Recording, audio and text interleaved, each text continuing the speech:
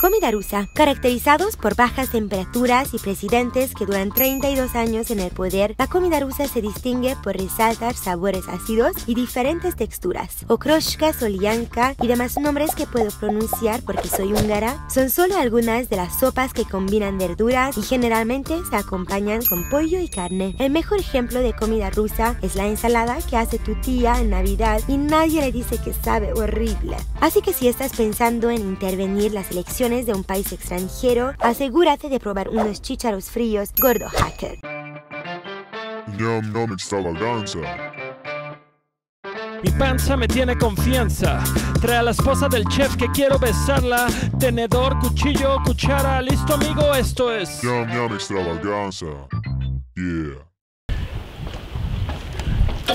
Bienvenidos a esta emisión de Yami Extravaganza, donde todo se trata de tragar y platicar. Ya conocimos un poquito sobre la comida rusa. El día de hoy me encuentro en la ciudad de Rostov-on-Don, precisamente con alguien con quien vine a Rusia, gracias a que la marca Corona nos trajo. Él es guionista, compañero comediante, estandupero, gran tipo, amigo de toda la vida, el señor Diego Sanasi.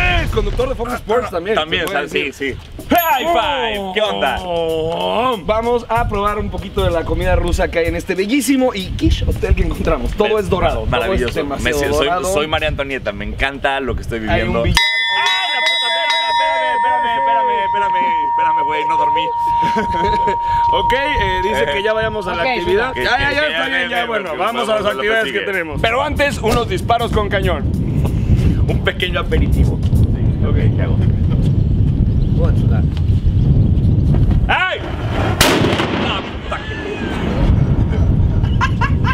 ¡Avise!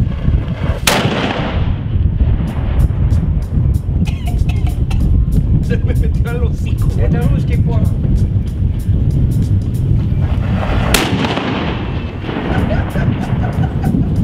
¡Buenos días, lejos!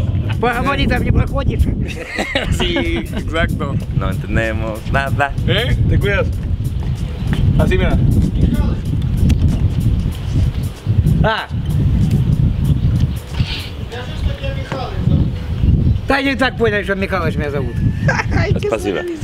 Después de esta actividad tan rusa y qué rápida fue, por cierto, vayamos a degustar comida rusa y ver qué tal sabe con las coronas, ¿no? Que por cierto, tenemos que averiguar si aquí hay cervecita corona. Seguro. Que, como dato curioso, todas las coronas del mundo, ¿sabías que salen en México? Esto suena lógico, pero no sabía. Sí. O sea, no hay, no hay aquí un Koronowski fabricó. Oh, ah, Así que vamos a degustar comida rusa con unas coronitas mexas.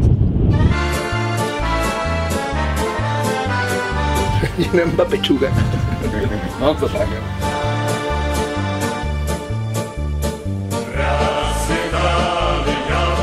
Por lardons, por lardons, los por lardons. Sí, sí. Por lardons. No sé ni qué estoy pidiendo, pero Lardons. tráigalo. with Lard. garlic, mustard, Oh, Ok, venga, venga, venga. and some Something with beef. Beef. Beef. I will Lamb. advise lamb shashlik. Okay. More tasty, more Okay, fresh. okay, lamb shashlik okay, for you. Muy buenos días y bienvenidos a Deportología, lo peor del deporte con lo mejor la comedia. Yo soy Ricardo Farril Y yo, Diego Sanasi. Comencemos con este, no es, güey. Este no es, este pero no hasta es, la mesita este estaba, es ¿no? Yam, yam. Ok, ya pedimos una variedad de eh, cosas rusas, algunas no me convencían a mí, pero yo dije, vámonos con todo. La güerita, que no sé su nombre, Voy a decir que se llama Anastasia. nos ayudó eh, pidiendo unas cosillas que ella sugiere son rusas. Ya conseguimos la chelita por si sabe gacho eh, pegarle. Bueno, pues esperemos mientras. Eh, cualquier güey que sea ávido bebedor de cerveza sabe cómo abrirla sin. ¿Tú sabes cómo? Nunca aprendí. No, es nunca el chiste aprendí. es- Nunca aprendí. vas a Me encanta, clase. sí. A tus 30 y 9. 35. A mis 47 años, no, 35. a tus 35 años. Aquí tiene que estar la fuerza. Aquí. En el de Dinsky. En el de Linsky. Este solo hace palanca. Y Espérate. Porque me- ya me pellizqué, güey. Mira, ya, me- ya me lesioné el de Dinsky. güey. mientras no sea un culo lo que te pellizque. No me agarro, o sea, todo pero, no agarro, agarro la corcholata No, con no, el dedo no. abajo, es agarro abajo. aquí. Exacto, recargas en el dedo. Ahí está, ahí debes jalar. Mm, Más o menos, bu- buen primer intento. Ahí va, ahí va, ahí va, ahí va. Ándale, brazo más arriba. Y Diego acaba de abrir su primera cerveza, ¿eh? No hay un no se puede, porque los mexicanos somos verga. ¿Desde hace cuándo te conozco, cabrón? ¿Qué van? ¿Seis años? Lo más bonito es que la primera vez que te vi fue en un escenario. Yo también a ti. No lo olvido que me acuerdo que Gonzalo te presentó, Gonzalo Curiel, y, y dijo, ¿cómo quieres que te presente? Como Richie es genial. Y dije, este pendejo que Richie es, ¿cómo se va a subir al escenario diciendo, ahora con usted Richie es genial, güey? Es que en mi Twitter tenía como Yo 300 sé. seguidores y quería darme promoción.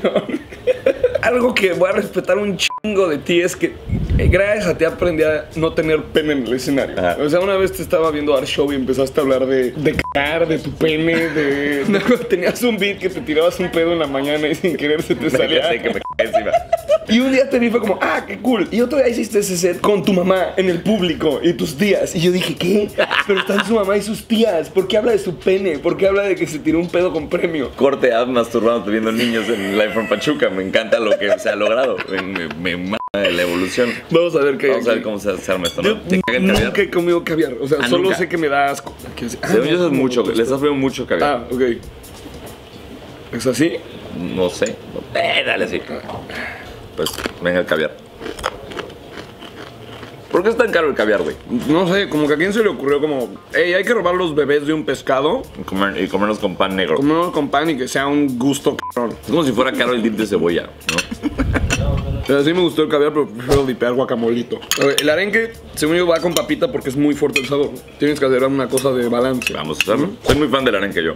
Sí, te vi como arenque, sí. Sí, le dije, fue mamá, voy a Rusia, pide arenque Diego. A ti que te gusta, pide un chico de arenque Diego. Esa es mi mamá, así habla mi mamá. Tu mamá ha influido en la comedia, en tu comedia. Me acuerdo que tú me dijiste que ibas a participar en Big Brother. O sea, mandaste tus fotos para Big Brother. Al primer Big Brother donde estaba Salia y todo No, el segundo. ¿Al segundo? Big Brother.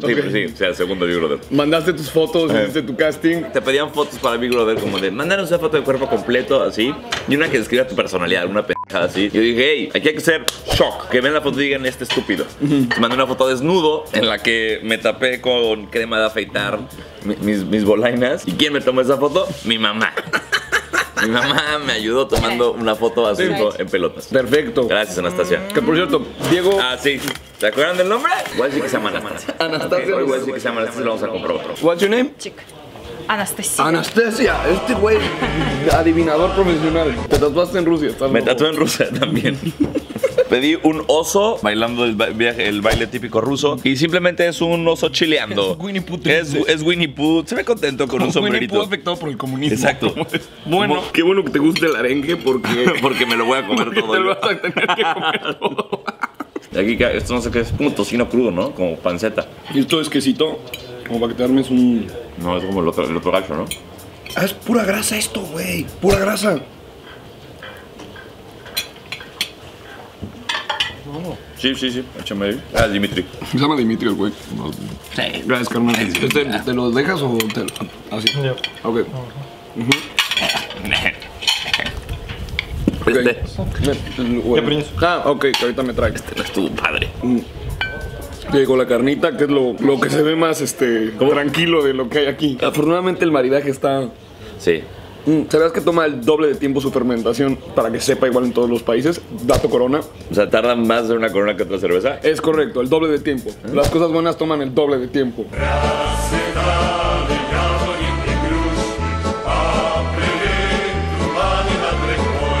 Esto es lo primero rico que me como en esta pinche mesa. Hace un buen contrapeso todas las entradas de mierda que nos trae. No, mira, esto es caviar, arenque, fine. Esto es super fine. Eso sí, ch tus putas madres, güey. Es grasa, güey. Sí, es vete a la grasa. Ya, ya. Es como, Gris, that's it. Gracias a ti yo empecé en el radio. Bueno, radio, porque era radio por Sí, internet. por internet. Sí, fue como, oye Diego, ¿no sabrías de alguien que quisiera hacer un programa de rap? Ricardo y yo. No se me olvida que un día nos tocó entrevistar a Ina. Nos hablaron y nos dijeron, oigan, va a ir Ina, la cantante pop. Ahorita, va a, ir, va, a- va a ir Ina ahorita solo a su programa, es lo más importante que tenemos ahora, hay que entrevistar a Ina. Nosotros como, si saben que somos un programa de rap, Ina resulta ser un personajazo. De entrada hablaba español. Y de- habla Soy de. Rumania y hablo español. ¿Y te acuerdas que inventamos su historia? O sea, que empezamos a decir, ustedes no, saben, no lo conocen, pero Ina empezó haciendo rap y breakdance en las calles de Belarus, así, de Belarus, en, en Rumania. Y ella decía como, sí, sí, y nos, nos empezó a seguir todo el cadero que hicimos y teníamos esta como tradición de todo invitado que iba a Street FM freestylaba. Y Ina dijo, sí, claro, entonces estrella pop freestyleando en español con este par de estúpidos. Que se les ocurrió en el momento. Joya. Oye, Galán, yo siempre voy a tener presente que fuiste de, de la primer gama de estandoperos en México. Sí. Tú fuiste esa primera escuela. Y aquí seguimos. Aquí ¿Cómo, se- cómo fue? Eh, yo conocí a Sofía Niño de Rivera y ella trajo un comediante gringo que se llama Colin Kane y le abrió. Me invitó a ese show y en el show yo vi a Colin Kane hablar mucho de ver porno en internet. Y dije, Yo "Güey, veo mucho porno en un internet. momento, hermano. Creo que creo que yo sé de este tema. Me risa y dije, aquí hay, estoy, yo puedo hacer eso. Y dije a Sofía, déjame abrirte un show. En esa época Sofía hacía 10 minutos en el foro Shakespeare y yo, déjame abrirte un show. Y Sofía me dijo, no, dejo, nunca has hecho stand-up en tu vida. Entra al primer concurso que organizaba Café 22. Entré a ese concurso y lo gané con el resto de lo que eventualmente sería el Wu-Tang Clan de, de la comedia mexicana, Risas Inc. Risas Inc. Risas Inc. ¿Qué te hizo dejar la publicidad para hacer eso?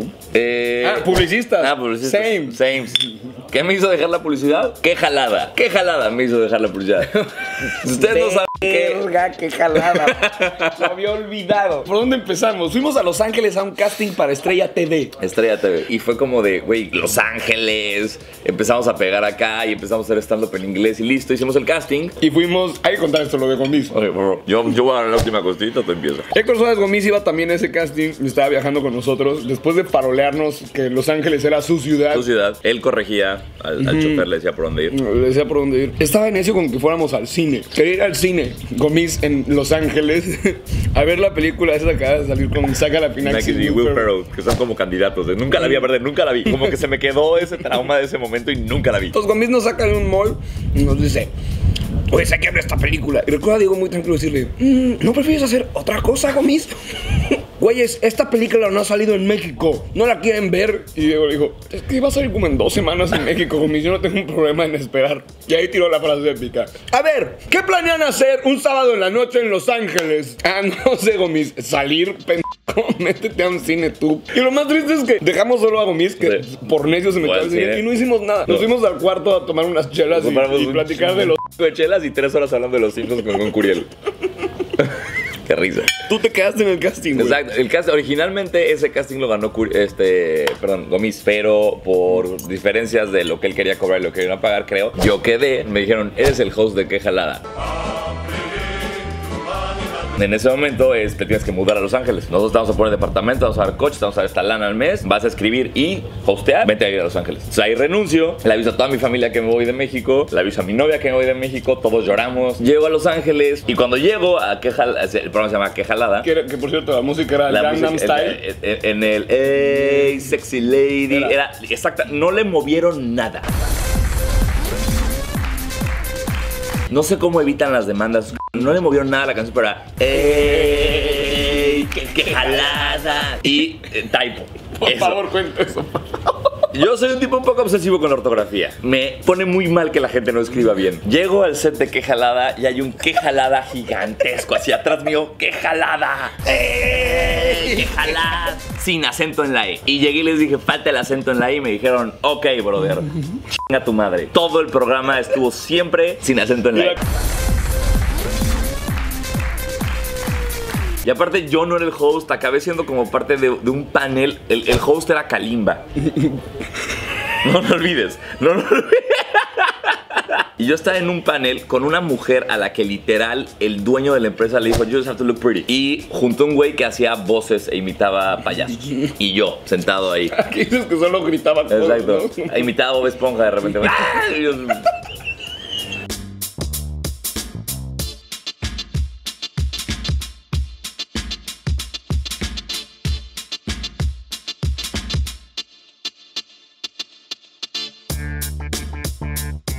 ¿Cuál? ¿Pigeons Milk Good?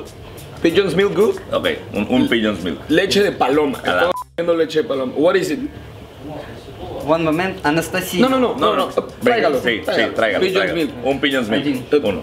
Quick, please. Este sí, time, si se puede. Uh, Fast. Espera. Mm, sí. Todo tiene que ser vía traductor. Podemos The Bird's Milk. Bird's Milk Dessert. No, no, no, no, no. no. Sí, ¿verdad? ¿Para qué lo Buen Bird's Milk.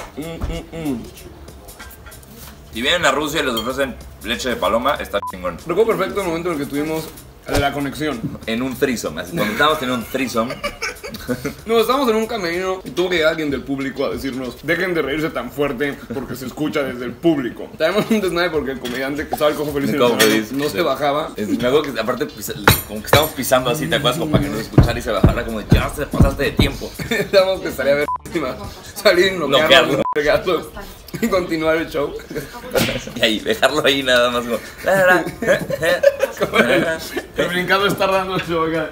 Sí, bueno, eh, como les decía, eh, a veces la vida. Esa conexión la notó Shumis.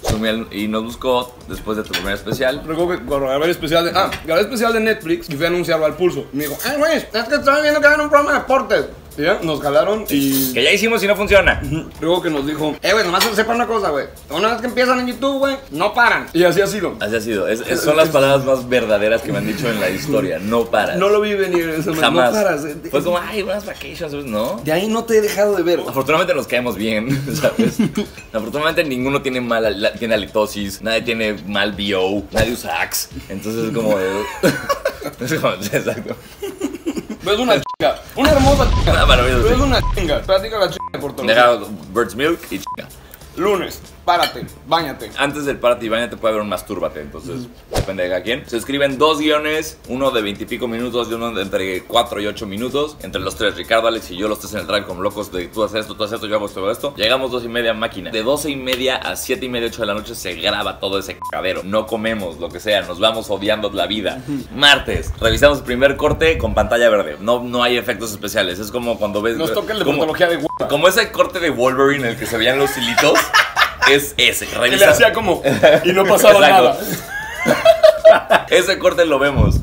Pasa el día, escribimos el Fox que grabamos el miércoles. Ya que te vas a dormir, Fallo llega con, eh, güey. Sí, ya que estás como, ah, sí, ya acabó mi. A, a la una escribe, eh, güeyes, ya estoy casi acabando el corte, güey. Y nos manda el segundo corte ya con efectos especiales, ya sin hilitos, ya con garras. Que ese es un beneficio. Vemos de portología antes, perros. Miércoles nos juntamos a grabar Fox, le damos promo al de YouTube y de ahí nos vamos a Radio Fórmula. De ahí nos separamos para Exacto. desayunar. ¿Alguien quiere desayunar junto? No, te veo en el radio. Exacto, a la Nos vemos en el radio. Se dan los tacos, Alex y yo vamos a Starbucks por no sé por qué. Grabamos radio, miércoles pasa normal. Después de eso ya no, cada quien la chingada. Jueves decimos, eh, ya es libre, ya se acabó la Eh, semana. güey, chequen el corte de Fox, güey. Chequen el corte de Fox, que güey. revisar el corte de Fox del jueves en la noche, se revisa y ya no nos volvemos a ver hasta el lunes, a menos que tengamos show, peda o lo que sea ese fin de Pero semana. siempre es bonito, o sea, siempre recuerdo- el, el lunes como me paro digo, me caga vivir. Sí. Me caga parar a escribir un guion. Y en el momento en el que llego y están, ¡eh, qué pedo! Estoy desayunando lo que sea que encontré en la tiendita. Estoy desayunando papas. A partir de ese momento todo cambia, güey. Y te quiero, te quiero mucho. Yo también, a te ti, quiero mucho, güey. Me, me gusta como, o sea, digamos, de, de una forma u otra, pues todo lo que hemos hecho nos ha llevado a siempre, ya sea abriéndonos shows en Los Ángeles, cagados de risa, hablando de los Simpsons. O sea, como que siempre nos estamos haciendo cosas juntos. Y eso a mí me encanta porque es un güey al que quiero un chingo,